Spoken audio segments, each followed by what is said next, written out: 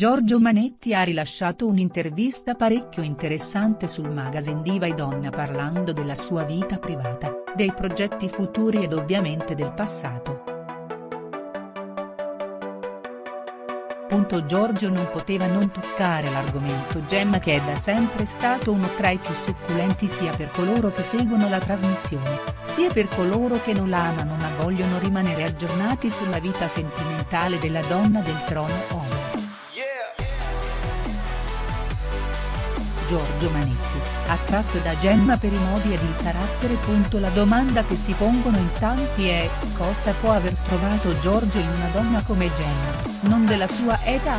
Il cavaliere racconta che ai tempi sentì di essere attratto da Gemma per i modi di fare molto raffinati ed eleganti, era alla ricerca di una donna di classe con padronanza nella dialettica, una donna di acciaio insomma. Effettivamente è sempre stata molto fine ed elegante e nonostante ciò anche schietta e sincera, per queste sue caratteristiche è riuscita ad attirare l'attenzione del cavaliere e ad iniziare una storia con lui. Punto ad oggi parlando del loro passato, l'uomo non nasconde di provare un po' di emozione, ha trascorso con lei un periodo di tempo piuttosto lungo difficile da dimenticare anche perché lui non ha rancore nei suoi confronti. La convivenza con la nuova fiamma ed il lavoro a Mosca. Dopo tutto però ha trovato l'amore, una nuova dama ha fatto battere il suo cuore tanto da andare a convivere in un paesino in provincia di Firenze. Il pubblico di uomini e donne si aspetta di vederlo tornare in trasmissione proprio per raccontare gli ultimi avvenimenti della sua vita e chissà che non lo ritroveremo a breve seduto sulle sedioline rosse in compagnia della nuova fidanzata. Ma Gemma come potrebbe reagire? Probabilmente la prenderebbe molto male dato che siamo certi la donna provi ancora qualcosa nei suoi confronti, d'altronde lui per lei è stato il grande amore e come tutti i grandi amori è difficile da dimenticare.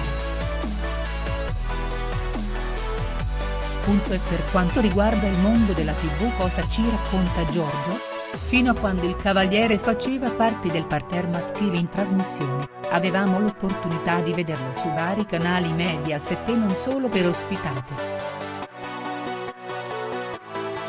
Da quando l'uomo ha deciso di abbandonare la sediolina rossa non si è più fatto vedere in tv ma come no. Giorgio dichiara che la tv italiana sembra essersi improvvisamente dimenticata di lui.